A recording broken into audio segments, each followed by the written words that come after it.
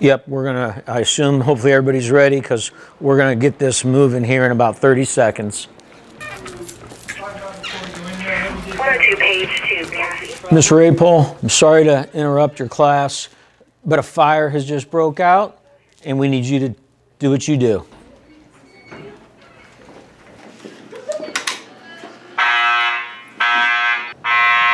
May I have your attention, please?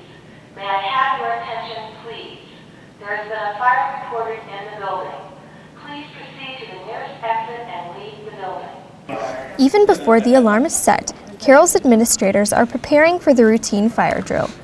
By state law, Carroll and all other high schools are required to perform a fire drill once every month, as well as other indoor emergency drills like lockdowns or tornado drills. On some occasions, when they are available, the Huntertown Fire Department will come and oversee the fire procedures taking place. They do it so that we can get more feedback from them. Typically, what they do is they divide and conquer. And so um, there's probably about four or five firemen that come in.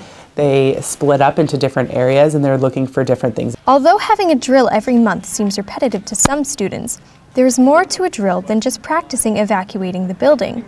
The hope is that over time that our staff ends up being aware of where fire pools are at, located as far as where the, the location of their room, um, and then the procedure just happen at that point. Fire drills are also good practice for students and staff to learn and know what to do in the case of a real emergency. You know, what would we do if, if there's an, actually a fire in that area or something else has obstructed it. And we try to put kids and stu- you know students and, and staff. Okay, think on your feet. Now what? Now where do you go? What do you do? For emergencies, fire drills and other procedures are good practice for potential real life situations. Carroll administrators want the school to be as prepared as possible for unknown events, so emergency drills are necessary to ensure the highest safety for faculty and students. For Studio 415, I'm Emily Drake.